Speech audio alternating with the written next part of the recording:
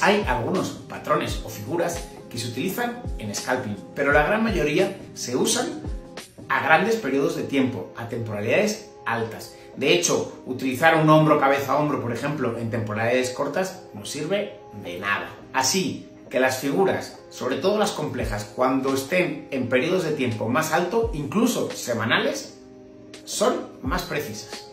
Lo segundo que tienes que saber es que cuanto más cerca de una línea de soporte, de resistencia o de una tendencia, ya sea principal o subyacente, esté esa figura, más real es, más posibilidades tiene de que se cumpla.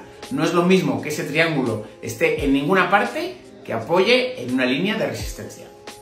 En los próximos capítulos vamos a profundizar en el uso de estas figuras, destacando algunas, las principales, las que más se pueden aplicar. Sin embargo, debes de tener estos conceptos claros.